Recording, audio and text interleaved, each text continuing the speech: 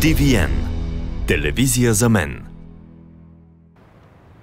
Всяко лице може да провери здравноосигурителния си статус в офисите на Националната агенция за приходите, а така също и на телефон 0700 18 700 на цената на един градски разговор.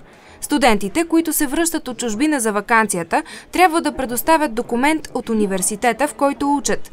Той се подава в поделенията на приходната агенция по постоянен адрес, за да се изчистят задълженията по месеци. Студентите, следващи в чужбина редовно обучение, е необходимо да представят в офисите една подостоверение или служебна бележка, подпечатани с мокър печат и подписани от служебно лице от съответния университет. Ако документът е генериран по електронен път, трябва задължително да съдържа отпечатан текст, че въжи без подпис и печат. Документът трябва да съдържа имената на студента, периода, в който той е учил там, само за изминалите семестри или години, но не и за предстоящите от обучението му и датата на издаване. Удостоверението или служебната бележка трябва да са преведени на български язик от лицензиран преводач.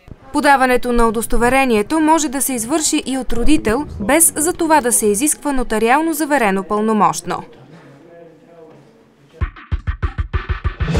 Видео новините в Русенюз. Благодарение на